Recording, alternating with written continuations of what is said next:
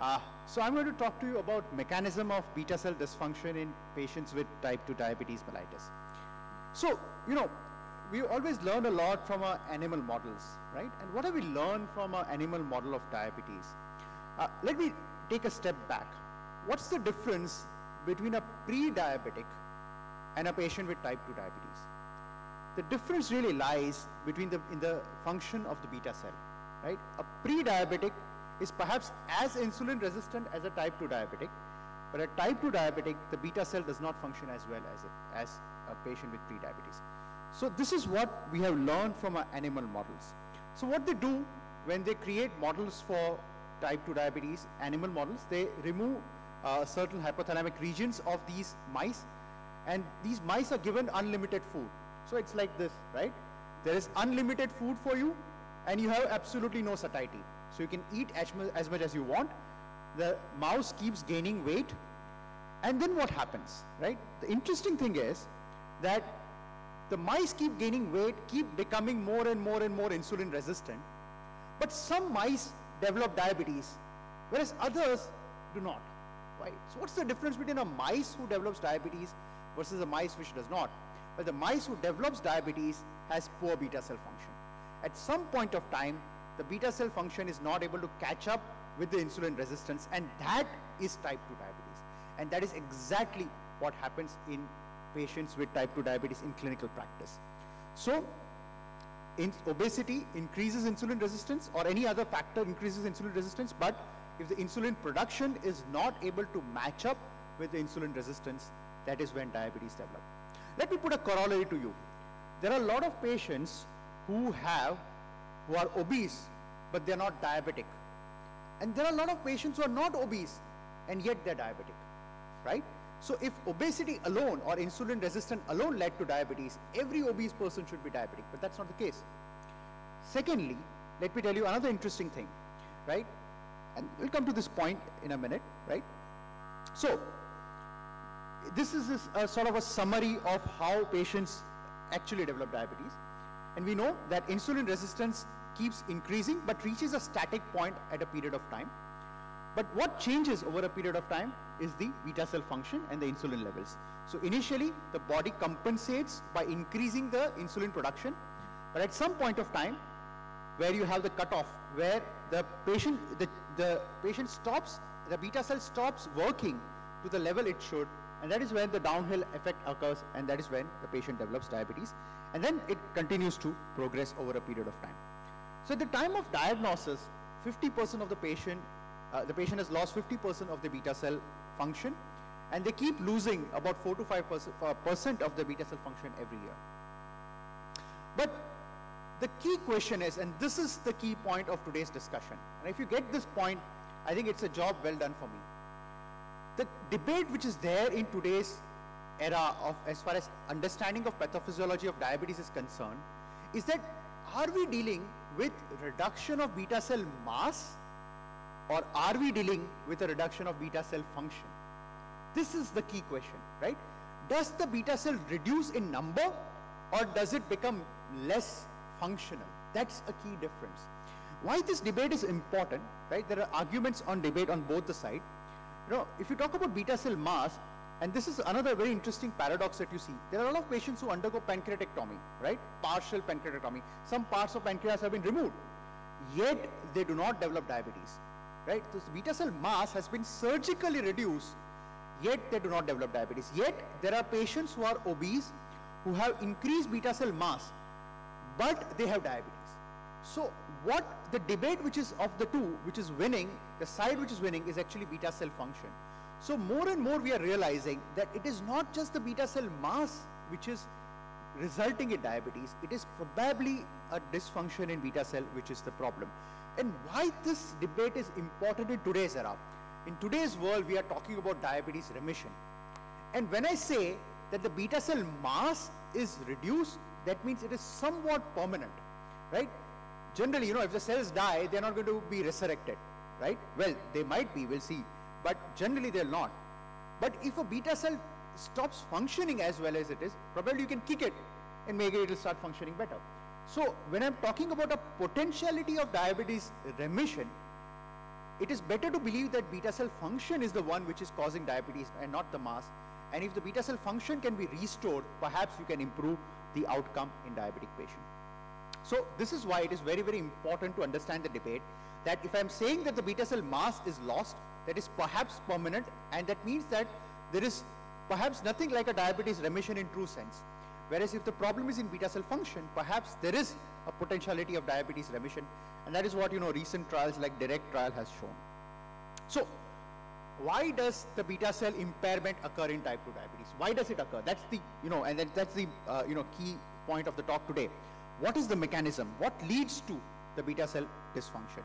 There are three key things, right? And this is a very interesting, uh, art, you know, uh, taken from a very interesting article, uh, which are the models for beta cell impairment or beta cell, uh, you know, uh, dysfunction in patients with diabetes.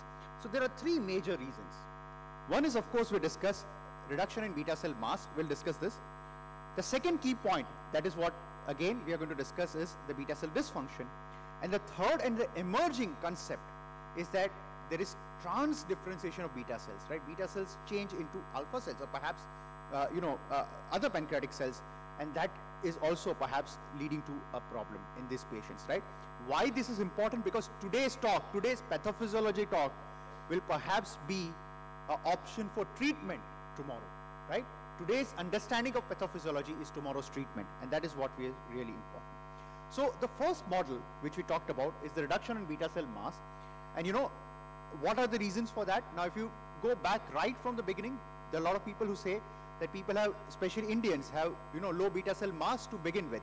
That is fetal programming, you know, Barker's hypothesis, you know, Dr. Yajnik's uh, things, right? The second is perhaps the beta cell undergoes apoptosis over a period of time and perhaps aging itself leads to decrease in beta cell mass. So there is genuine reason that there could be reduction in beta cell, right, uh, mass as well. You know about Barker's hypothesis. We know that, you know, perhaps there are epigenetic changes which occur in utero and because of this there are certain genes which get switched off and we are born unfortunately with a smaller beta cell mass that puts us at a risk of developing diabetes in future. The second model is the key one which gives us a hope, right? that there are some factors which lead to damage or beta cell dysfunction. And there are two major reasons which have, you know, which causes this. One is what is known as endoplasmic reticulum stress, and second is what is known as oxidative stress. I'll discuss each of this. So what is endoplasmic reticular stress or ER stress? See, endoplasmic reticulum is given a task that it has to maintain a normal structure of the proteins, right? Now we know that protein has a primary, secondary, tertiary and a quaternary structure. And insulin is a very complex protein which has a very good quaternary structure, right? Now, when a protein is formed, if this protein is not perfectly formed, the endoplasmic reticulum will, you know, destroy it. So when you have a lot of malformed protein accumulating into the endoplasmic reticulum, this produces a situation of ER stress. And in this situation, the cells take a critical decision. I have a lot of garbage in my neighborhood, right? Now, there are two things I can do. Either I can clean my neighborhood or I can close it down a lot of COVID cases in my neighborhood. Either I can treat those COVID cases or I can, you know, put a shutdown, right, or lockdown. So in lot of times, the body tries to respond by improving the, by cleaning the system. But in lot of times when it is going beyond that particular system, the cells start undergoing apoptosis. And this happens not only in pancreatic beta cells, it occurs in many, many cells of the body. And that is very, very important. Second is the oxidative stress and beta cell dysfunction. Where have we seen this? We see this in patients who are having glucotoxicity. We have all seen, you know, we see a patient who comes with blood sugar of 500. You start this patient on insulin, the blood sugar comes down, the patient's, you know, endogenous insulin production improves, the C-peptide improves. Why does it happen? This happens because there is a system in our body where you have a chronic hyperglycemic state. It leads to increased reactive oxygen species, which stuns the pancreatic beta cells the beta cells are not able to produce more insulin. This produces a vicious cycle, right? When the beta cell is stunned, there is no insulin, less insulin, less insulin means more blood sugar, more blood sugar means more reactive oxygen species, right? So when you break this system by giving insulin or by, by you know, intensive management patient early on, you reduce the oxidative stress, improving the beta cell function. Again, this has very key importance in future in terms of pathogenetic treatment. The third model is, of course, transdifferentiation of beta cells. Beta cells start behaving like alpha cells. There is change in the nature of beta cells. this is still an emerging area of pathogenesis. We do not understand it. But somewhere, perhaps 10 years from now, if we come back at Diabetes India conference, hopefully at the same venue, perhaps we'll have some drug which prevents the uh, beta cells from converting to alpha cells and perhaps going back to beta cell function. So of all these three models, the most important model is actually the model 2, the beta cell dysfunction, because at this point of time, that is the one which we can really treat and we can really help. Okay, so we had this debate on function versus mass, and at this point of time, there is nothing much we can do about the poor beta cell mass, but we can do a lot about the beta cell function, and that is what really should be we are looking at in terms of emerging treatment. So, what is the clinical importance of what we have learned today, right? So, few things. One is we have all seen this variant of Indian diabetes patient known as Indian Flatbush variant, right? Uh, Dr. Sujit Jha, uh, unfortunately passed away a few weeks back you know, uh, with all due respect to him, there's a beautiful article written by him. It was published in Diabetes Care, where he identified patients where, you know, which was first identified in Flatbush, which is a region in Brooklyn, right? These patients come with severe hyperglycemia, obese patients coming with severe hyperglycemia, and when you treat this patient, they come with ketosis. When you treat this patient with insulin, suddenly they, after a few weeks, the insulin requirement goes away, they go into remission, right? This is a classical example of oxidative stress causing beta cell dysfunction, which is reversible. Of course, we have the key point is diabetes prevention also. This is a very important point. You know, this is an article by Ralph DeFronzo on why preservation of beta cell is key to diabetes prevention. I think this is more and more uh, knowledge on this topic really has to be uh, thing. And of course, we have Dr. Arvind Gupta. I saw him in the morning today.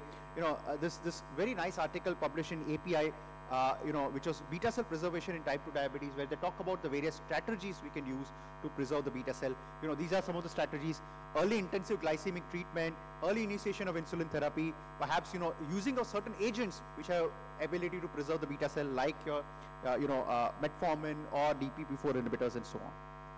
So, again, one very important message, you know, this is an area of debate. I don't want to get into the debate of this, but a lot of times, you know, there has always been a suspicion that sulfonylureas perhaps hasten the process of beta cell dysfunction, right? Uh, or perhaps lead to more permanent issues, right? Whereas other drugs do not. And this is a very old study, uh, you know, uh, old sort of meta-analysis where they looked at this article and they found that actually glyburide, uh, you know, uh, led to over a period of time, these patients on glyburide or sulfonylureas had poor beta cell reserve compared to those patients who were on metformin or rosiglitazone for that matter, right?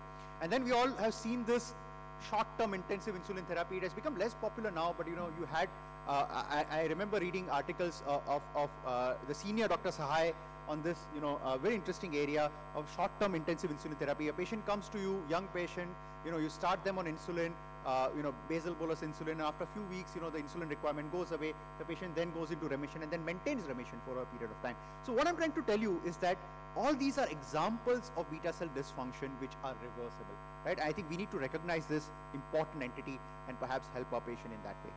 So to summarize and some important take-home message, first important message for all of us is that beta cell impairment, right, is the key to pathogenesis of type 2 diabetes. Please understand this. There are a lot of tech people I saw, you know, I met a lot of them today. They're working on, you know, exercise and lifestyle and all that. But you have to remember that there is a difference between a pre-diabetic patient and a diabetic patient. A pre-diabetic patient is insulin resistant.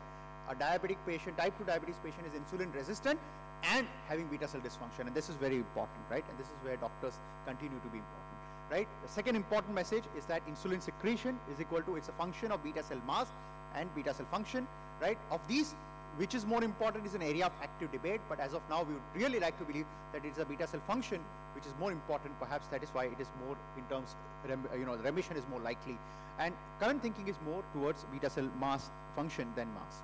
Uh, preservation of beta cell should be very important, right? It's a key important thing in pathogenesis of preventing uh, or progression of pre-diabetes to diabetes and also key in preventing the progression of diabetes in patients with pre-existing diabetes, right? So these are the take-home messages, right? We have this app, you know, just for anybody who's interested in this topic, it's called Notes in Endocrinology app, right? So, uh, you know, we made some very good notes. It's a freely available app, right? And we made a, you know, interesting app recently called the Centurion Insulin app. It's 100 years since insulin use. And this app is intended for doctors to really, you know, see which patients are the right candidates for initiating insulin in type 2 diabetes patient, right? So again, freely available. You can search on either your Android or your uh, Google Play Store uh, for Centurion insulin app. It's freely available, and you can you know try putting some patients here. You'll see uh, some good results, right? So thank you for a patient listening and